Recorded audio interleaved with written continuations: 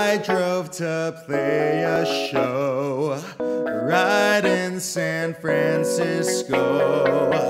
We rocked that new age sound, then we walked around.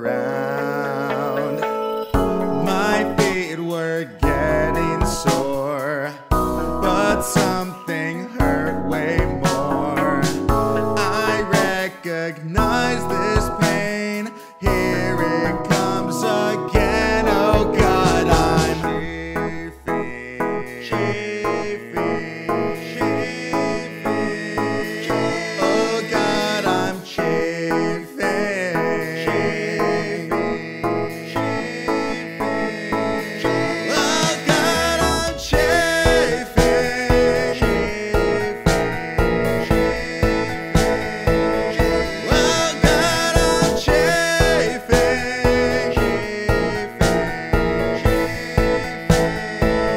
Hurts like a motherfucker.